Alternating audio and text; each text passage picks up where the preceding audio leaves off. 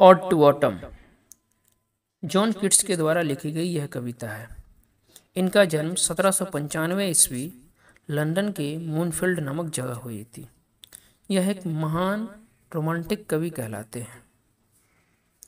इनकी गहरी रुचि क्रिकेट और बॉक्सिंग में थी।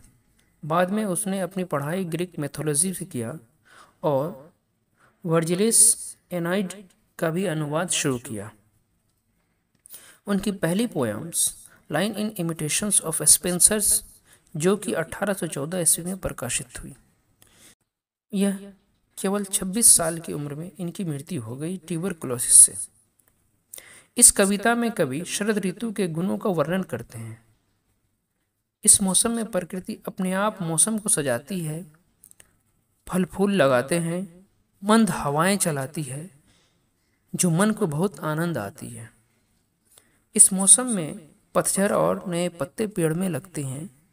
इस मौसम में तितलियाँ और फूलों पर मंडराते हैं और शहद एक, एकत्रित करते हैं। इस मौसम के बाद बसंत ऋतु का आगमन होता है जो जीवन में नई उमंग और ऊर्जा प्रदान करती है। इस तरह शरद ऋतु हमारे जीवन में एक गहने का कार्य करती है।